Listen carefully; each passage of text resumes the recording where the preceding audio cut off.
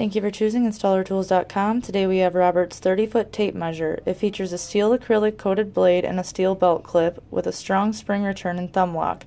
It sits in a rugged case with a red rubber jacket, and its bright colors make for easy to find visibility.